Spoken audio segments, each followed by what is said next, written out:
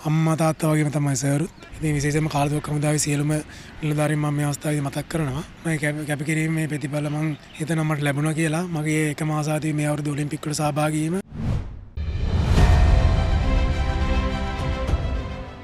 අරුණ දර්ශන ත්‍රේකුණාමලය වැනි ශ්‍රී ලංකාවේ දුෂ්කර පලාතකින් පැමිණ ජාතික තලයෙන් ජාත්‍යන්තර තලයේ ජයගත් ක්‍රඩකේ.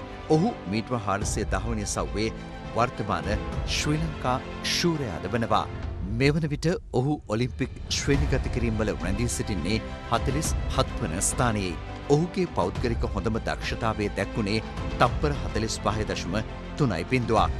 අරුණ පැමිණි ගමන පිළිබඳව ඔහු ස්පෝර්ට්ස් පස්ට් අපිට කිව්ව කතාව.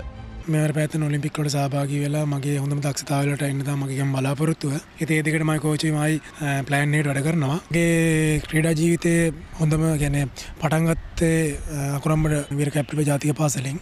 විසිසි මතක් කරන්න ඕනේ මගේ අම්ම තාත්තා මල්ලි ඒවගේ මගේ පවුලේ හැම දෙනාම මගේ කෝච අසංක රාජකරුණා.